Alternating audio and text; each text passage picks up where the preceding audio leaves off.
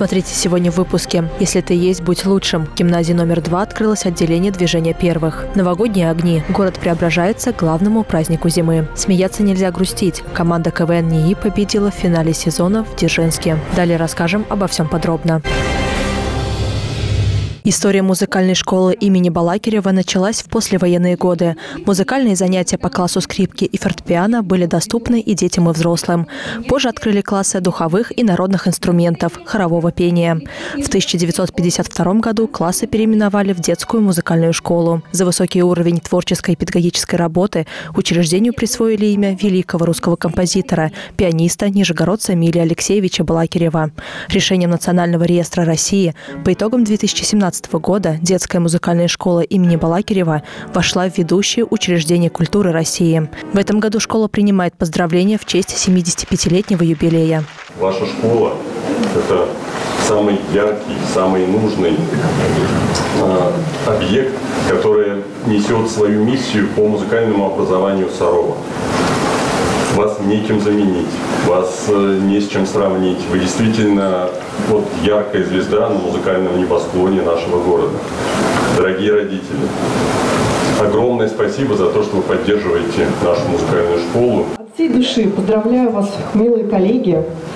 Э, пусть этот юбилей станет выражением благодарности преподавателям, всем тем, кто вложил свой талант и энергию в воспитание юных музыкантов, помог найти свой путь в искусстве. Всем желаем творческих удач, ярких учеников, доброго здоровья и благополучия. С праздником вас, с юбилеем! Юбилейный вечер стал красивой финальной точкой второго городского фестиваля «Балакиревские вечера», на котором выступили солисты и коллективы школы, педагоги и учащиеся, выпускники. На юбилейном концерте прозвучали различные инструментальные и вокальные произведения лауреатов всероссийских и международных конкурсов. Для гостей выступили оркестр русских народных инструментов, эстрадно-джазовый коллектив. Прозвучали классические сочинения известных композиторов.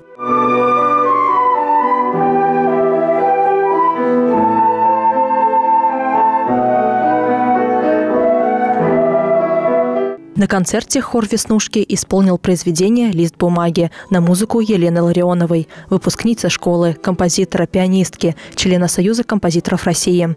Елена Валентиновна тоже поздравила школу с юбилеем. Самые большие искренние поздравления. Считается, что Саров – это второй Иерусалим. Неправда. Для нас с вами он первый и единственный. И то, что делается сегодня на вашей земле, на нашей земле, это действительно великие святые дела великой нашей страны, великой нашей музыки которой равных нет во всем мире. Мне действительно довелось работать во многих странах.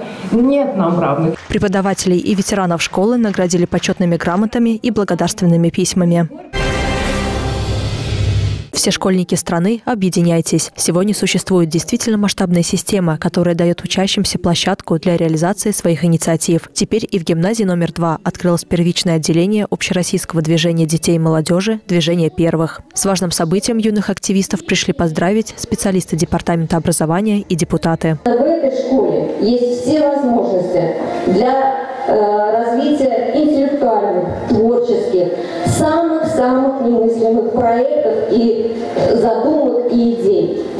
И хоть сегодня вы только открываете первичное отделение первых, но вы уже давно первые, вы давно уже в этом движении. Считаю, что вы также продолжаете традиции комсомол нашего города и гимназия номер два становится первой.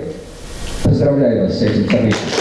Ученики гимназии номер два действительно ни дня не сидят на месте. Ежегодно школьники реализуют множество проектов. «Доброе сердце», «Застава», «Кошкин дом». В преддверии Нового года ребята готовят мастер-классы и спектакль, который покажут для детей из теплого дома. Популярной стала инициатива «Ярмарка добра». Как активист волонтерской организации «Твой выбор» а, мы ежегодно проводим ярмарку добра. А, дети сами делают игрушки, пряники, э, шоперы шьем. Это наше нововведение с того года.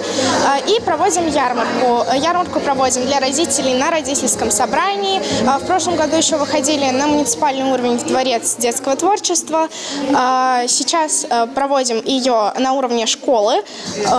Ярмарка ежегодно приносит большие суммы, и все вырученные средства отправляются в городской приемник «Верный друг». Директор гимназии Юлия Василкова в режиме видеозвонка одобрила открытие первичного отделения. Ребятам вручили значки с символикой движения первых. По словам активистки Виктории Романовой, благодаря движению у гимназистов будет еще больше возможностей делать добрые дела, город и страну лучше.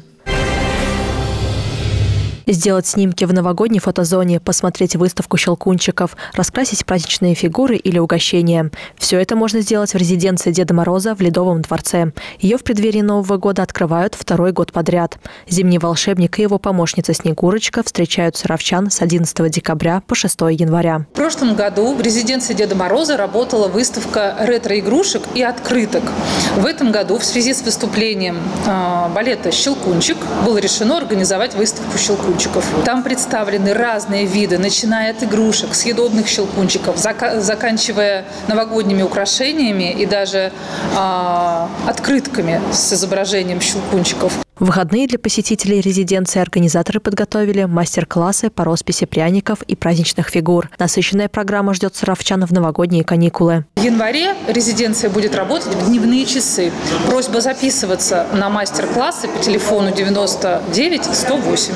6 января в 11 и 17 часов будет работать интерактивная программа, после чего можно будет всем пройти на каток. Традиционно Департамент по делам молодежи и спорта выдает сладкие подарки детям от года, которые которые не посещают дошкольное образовательное учреждение. Родитель с малышом от года может прийти сюда вместе со своим ребенком, получить сладкий подарок, пообщаться с Дедушкой Морозом, может быть, рассказать ему стишок, если он уже что-то говорит, или спеть песенку, и ну, просто получить приятные эмоции, сделать фотографию на память. Для получения сладкого презента при себе нужно иметь паспорт одного из родителей и свидетельство о рождении малыша. Получить информацию о наличии ребенка в списках на выдачу подарков и уточнить график раздачи можно по телефону 99106. В случае, если фамилии нет в списках, нужно предоставить справку от педиатра о том, что малыш не посещает детский сад. Капитал Маркса, общая теория занятости, проценты и денег Кейнса. Труды великих деятелей легли в основу знаний ни одного поколения. На 37-й студенческой конференции по гуманитарным и социальным наукам третьекурсники прочитали доклады по истории экономических учений, институциональная среда и модернизация России. Мария Полякова вместе со своей командой рассматривала книгу Эленор Остром «Управление общим». Нам посоветовала эту книгу наш преподаватель Оксана Валерьевна Савченко. А, вот, мы ее полностью прочитали, и, в принципе, нам она стала интересна. А, в основном в этой книге рассматриваются, как а, люди самостоятельно управляют общими ресурсами, то есть без помощи государственного принуждения и без приватизации вот этих самых ресурсов. Очень долго изучали. Вот. В интернете никаких источников нет. Мы именно читали эту книгу и выбирали информацию именно из этой книги. То есть сами анализировали, а, сами вставляли какую-то нужную информацию, которая нам показалась интересной. Студенты с РФТИ с интересом изучают, как устроены процессы управления, прослеживают экономическую эволюцию. Многим эти знания пригодятся в будущей профессии. Как отметил заместитель руководителя СарФТИ Тимофей Соловьев, чтобы создать что-то новое, нужно детально изучить базу, которую сделали до. Очень важно изучать предыдущий опыт ваших коллег, ну, в данном случае вы с экономическими э, дисциплинами работаете, поэтому опыт экономических исследований.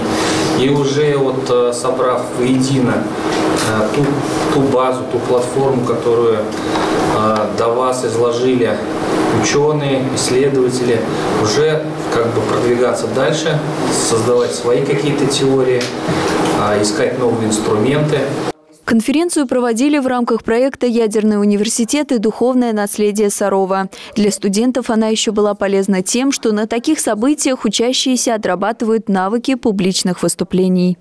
Научно-учебная конференция, она важна для каждого студента, потому что она дает возможность продемонстрировать свои какие-то знания, способности, получить э, новые знания, дает возможность нам поработать в команде, а, слушать друг друга, принимать а, верные решения общие. Команда Марии Поляковой и Алены Гусевой заняла первое место. Победители и призеры получили дипломы. Новогодние праздники в радость людям, а для домашних животных это большое испытание на храбрость. Хотя даже с большой храбростью трудно справиться с тем, чего ужасно боишься. А боятся домашние питомцы петард, салютов и других пиротехнических средств. Поэтому в период новогодних праздников человеку нужно позаботиться не только о своем благополучии, где отмечать Новый год и какие дарить подарки, но и о своем питомце. В соцсетях начинаются уже эти убегания, искания и тому подобное. Поэтому э, владельцам животных, наверное, еще раз раз говорю, и это мы не просто так говорим. А, адресник обязательно.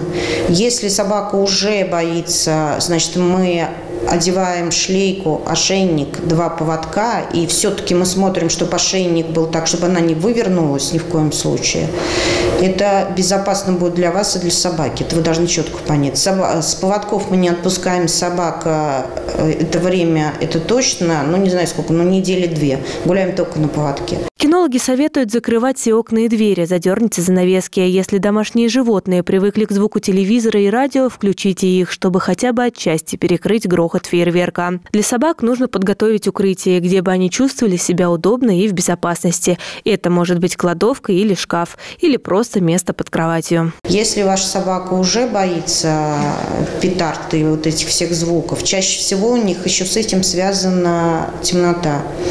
Поэтому собаку мы выводим в светлое время года, а, а, время суток. А если уже там приспичил, на ночь мы выходим просто на попис и на покак. На 5 минут вывели и обратно. Даже если она у вас полностью не выгулялась, ничего страшного.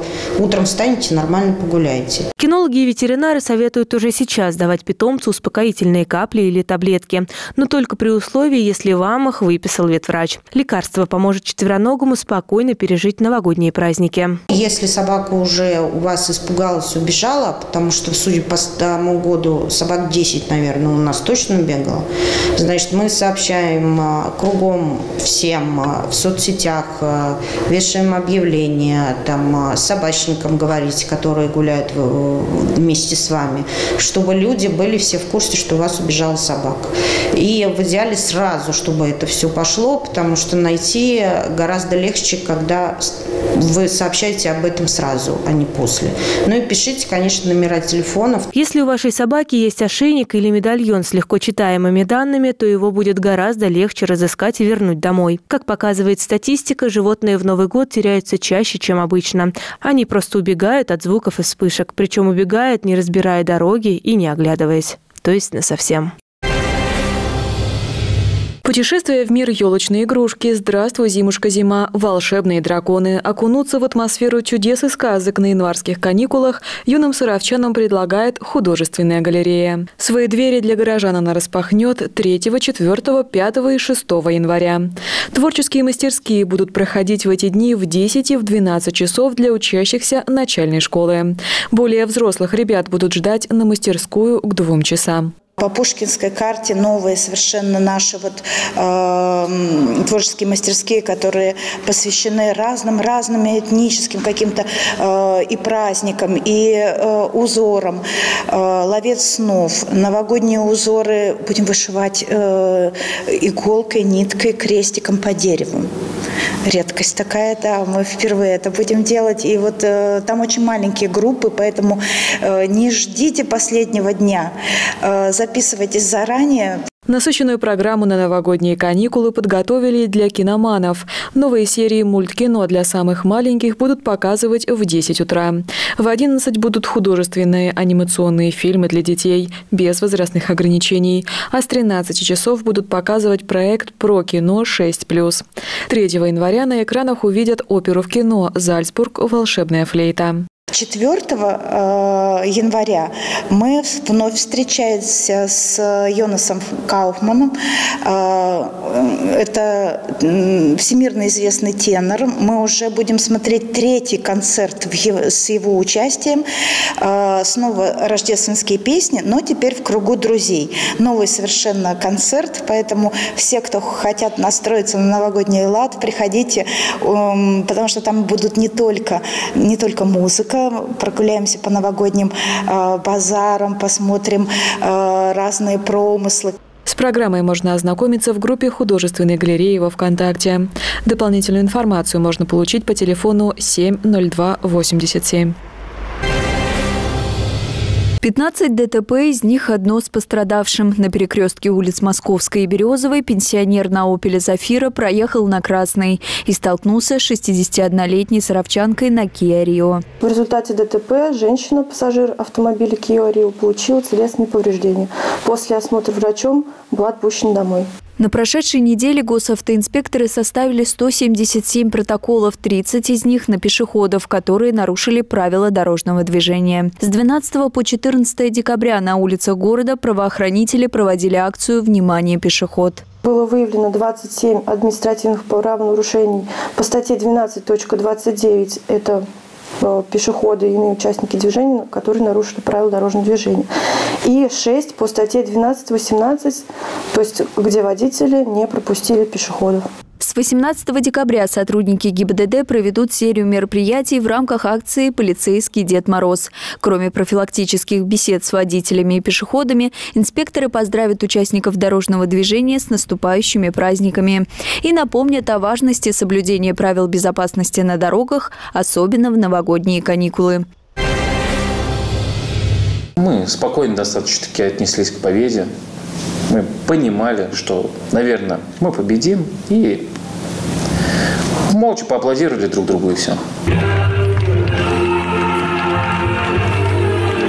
Так, с юмором ребята из команды КВН НИИ оценивают свою победу в КВНовской лиге, который проходил в Дзержинске. Они выиграли грант на 100 тысяч рублей, которые потратят на поездку в Сочи на Кивин 2024. Как признаются ребята, пришлось показывать лучшие номера и усиленно готовиться к каждому заданию. Конкурсная часть была это приветствие, это стандартный КВНовский конкурс, который играется всегда. А, далее была разминка. Э, организаторы лиги стараются в этом формате чуть экспериментировать. И в этот раз, на моей памяти, наверное, первый раз, когда я видел, были, была разминка с гиф-картинками которые двигаются. Вот. И от, вопросы от жюри были. И третий конкурс – это музыкальное домашнее задание. Команда НИИ принимала участие в Дзержинской лиге в 2021 году. Тогда они взяли серебро. Но второго места им оказалось мало, и команда поставила цель приехать в Дзержинск еще раз и победить. Понятно, что это подготовка КВН всегда состоит из двух частей, наверное. Да? Написание материала, когда мы собираемся просто в разных местах, где это возможно, штурмуем, придумываем шутки. А когда уже понятие сценария мы уже ближе готово, мы это, как называется, ставим на ноги, мы это уже пробуем играть, э, репетируем уже именно, как это будет выглядеть на сцене. В этом году в лиге приняло участие более 20 команд. Все они проходили жесткий отбор. Многие отсеивались в начале игры, но каждая команда старалась выступить на 5 с плюсом. Все команды были и достойные, и хорошие, и сильные. Мы за весь сезон не выиграли ни одной игры, кроме финала. Мы в каждой игре нас побеждали команды. Мы занимали либо второе, либо третье место. Поэтому это не было легкой прогулкой, назову так, не было легких команд, которые мы легко выигрывали. Мы всегда показывали качественный юмор, но всегда чего-то не хватало. Но к финалу мы настроились. Мы... Это главная игра сезона, как говорится, да, в КВН можно выиграть одну игру, но если это финал, то станешь чемпионом. Сейчас команда КВН НИИ готовится к Кивину 2024. На лигу съедутся сильнейшие КВНщики России и ближних стран. Отбирать команды будут лучшие редакторы КВНа. Для участия в международной премии «Глаголица» в номинации «Проза на русском языке» Константин Барьков написал рассказ «Сухарь». В нем идет речь о молодом учителе физики, который никак не мог найти подход к ученикам. Для воспитанника медиастудии детской школы искусств номер два работа над рассказом стала первым конкурсным литературным опытом. Идея была взята, можно сказать, из головы. То есть это не жизни, это своей головой я придумывал. А, эта идея меня затронула тем, что так как 2023 год объявлен годом педагога и наставника, я решил написать э, про учителя физики, который не мог найти подход к детям. Работа протекала трудно, сложно, потому что это была первая моя работа авторская. А мне помогал э, мой педагог по журналистике Царева Анна Георгиевна. Премия «Глаголица» для авторов от 10 до 17 лет дает возможность попробовать свои силы в большой литературе, познакомиться с признанными мастерами слова, перенять опыт и знания, совершенствовать родной язык. В составе жюри – писатели, журналисты, переводчики. На конкурс прислали более двух с половиной тысяч работ. Из них лучшие вошли в длинный список, а затем в короткий список. Сравчанин был в числе лидеров и вышел в финал премии. Для финалистов премии был предусмотрен такой замечательный подарок. Это поездка в город Казань на шестидневную смену литературную. Дети проживали бесплатно, бесплатно участвовали в различных мероприятиях культурных и образовательных. Питание, проживание, встречи, мастер-классы с жюри и с известными личностями, в том числе и артисткой Ксенией Алферовой. Литературная смена в Казани предполагала не только развлечения и образовательную программу, но и очный конкурс «Лучший журналист». Константин Барьков за несколько дней выполнил две работы. Эссе на тему «Что значит для меня образование» и репортаж-статью о литературной смене. По итогам конкурса Саровчанин стал победителем. На встречах с экспертами финалисты разбирали свои работы и получили ценные советы от именитых наставников. Естественно, была критика, естественно, были и комментарии, но одно из самых ценных я выделил, я выделил для себя это то, что нужно работать там над русским языком. А что именно? На неправильное использование депричастных оборотов. Да, я не хочу оставлять это дело, хочу еще когда-нибудь написать какое-нибудь произведение. Произведения финалистов опубликовали в «Альманахе». Торжественная церемония награждения победителей и лауреатов премии «Глаголица» прошла при участии артистки Ноны Гришаевой. Под Новый год город традиционно окутывается огнями иллюминаций. Многие украшения на улицах остались с предыдущей зимы. На площади установили фигуры Снегурочки и Деда Мороза, нарядную ель. Из новых объектов украшения на пруду Боровом, улице Ленина, Октябрьском проспекте, у ТКС и в 15-м микрорайоне. Новогоднее настроение в этом году обошлось почти в 2 миллиона 400 тысяч рублей. Одно из самых ярких мест города – парк имени Зернова. Улочки здесь украшены уже привычными для саровчан инсталляциями. Здесь можно запечатлеть момент в арке из мишуры или посидеть в санях у снеговика. Жители города охотно фотографируются с ними. Для многих такие кадры – ежегодная традиция. Здесь и зеленая красавица елка, и золотая карета с лошадьми, арки с шарами и разноцветные фонари. Жители украшением города в целом довольны. В принципе, нормально. Не знаю. Мне кажется, в этом году больше всего украшено, чем раньше. Новых инсталляций, честно, я не видела. Я имею в виду ага, мимо пар, помимо парка. Угу. Ну, а так, я думаю, что город готов к встрече Нового года. Я только в парке хожу, больше нигде. Угу. А здесь как вам украшения? Нравится. Вот собираюсь сама себе сфотографировать в шарике. По городу, даже вот около Дома молодежи, я вот пока еще там, кроме елки, по-моему, ничего не видела. Вообще огоньков очень мало у нас в городе. Все. Как-то хочется повеселее, и в парке, мне кажется, тоже маловато. Сотрудники кафе и магазинов украсили фасады и внутренние помещения гирляндами, еловыми ветками и игрушками. Даже если вы загружены отчетами на работе, контрольными в школе или скорой сессией, остановитесь и оглянитесь вокруг, прогуляйтесь по городу и впустите праздничное настроение.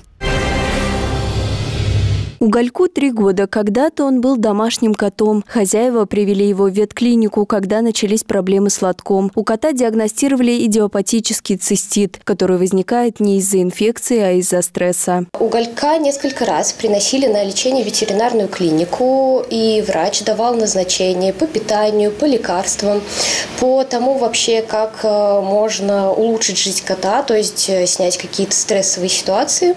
И через некоторое время владельцы возвращались возвращались, то есть они не делали никаких усилий, то есть они не лечили кота, они не переводили его на спецкорм, то есть э, заболевание у него периодически возвращалась.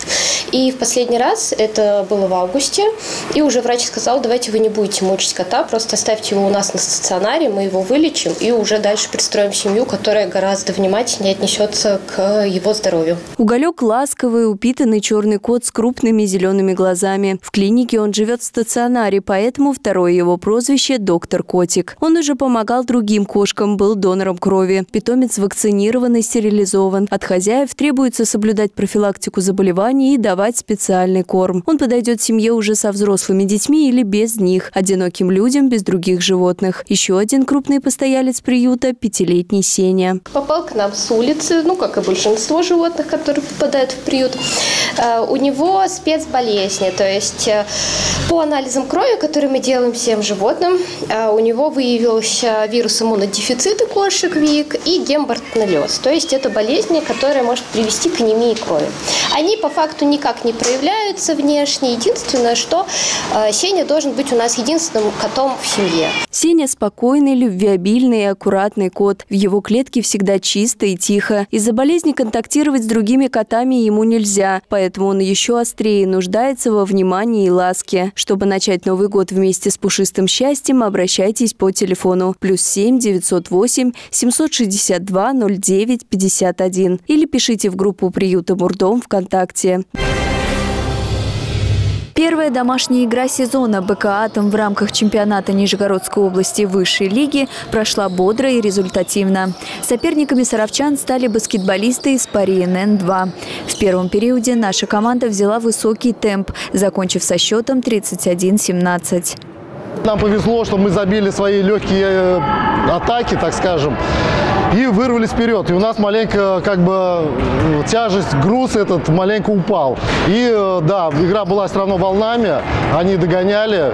Нижегородцы активно пытались сравнять счет взаимными атаками. Игра была максимально контактной. В последнем периоде соперникам «Атома» удалось сократить разрыв на 8 очков, но саровчан было уже не догнать. Игра у нас получилась не самая лучшая. Очень много не реализовали своих ситуаций, все промазали, не доработали очень много в защите. Игра закончилась со счетом 112-94 в пользу саровчан. Большую роль сыграл опыт баскетболистов нашей команды и желание победить. Ждали молодых ребят. Они у нас дубль БКНН, то есть перспективные молодые ребята, которые могут уже стать профессионалами. Они уже практически профессионалы. Вот. А, игра, конечно, мы настраивались на очень боевую игру. С честью вышли, опять также оторвались от них и до победы довели. Следом «Атом» сыграл дома с БК «Гайдар Агроспецтех» из Арзамаса. Саровчане уступили гостям со счетом 77-81.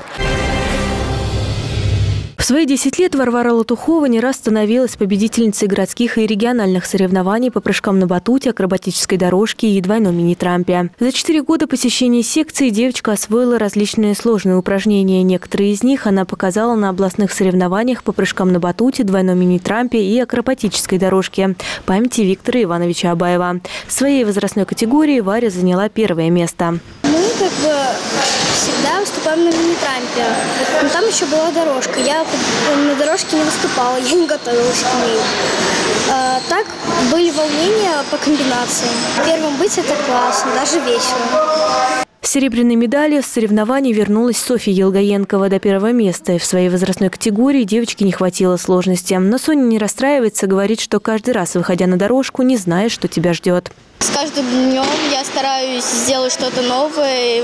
И когда мы уже должны будем ехать выполнять кандидата мастера спорта, я надеюсь, то, что я выполню. Воспитанники Икара привезли домой 25 призовых мест, 11 золотых, 8 серебряных и 6 бронзовых медалей в двух дисциплинах – акробатическая дорожка и двойной мини-трамплин. Всего в соревнованиях приняло участие 110 человек из пяти спортивных школ Нижегородской области. Когда выиграют, горжусь. Когда плохо выступают, бывает такое, что какая-то полоса. Вроде готовы, как бы, поехали. Один упал, второй упал, что такое. Ну, бывает это, не знаю. Ну, здесь, конечно, от настроя зависит. Сейчас спортсмены спортивной школы ИКАР готовятся к соревнованиям ПФО, который пройдет в феврале в Тольятти. Первенство общеобразовательных учреждений города по волейболу среди сборных команд юношей прошло на базе школы номер 7. В течение семи дней на соревнованиях за лидерство поборолись 11 школьных команд, которые разделились на две подгруппы. Из каждой подгруппы в полуфинальные и финальные встречи вышли по две команды, которые разыграли призовые места. За золото сразились сильнейшие игроки первенства – 17-я школа и 15-й лицей. Борьба на паркете была эмоциональной и напряженной. В итоге победу одержали волейболисты школы номер 17 17. Первые две игры были очень тяжелыми, потому что, во-первых, мы долго вкатывались в турнир. Вот. Ну и плюс как бы школы э, сопротивление предоставили хорошее. Сегодняшняя игра была очень напряженная. Хоть мы выиграли э, первый сет достаточно легко, но во втором сете мы отыгрывались со счета 23-17. Нам это удалось, мы очень счастливы. В прошлом году школа номер 17 выиграла областные соревнования по волейболу и участвовала в ПФО, заняв в подгруппе четвертое место. Сегодня они показали свою игру хорошую. И вы, конечно, все прекрасно видели, что действительно наша команда, школа номер 17, ребят, она на гол... я не постесняюсь это слово сказать, что она на голову выше других соперников, потому что подготовка была действительно некоторых ребят очень хорошей.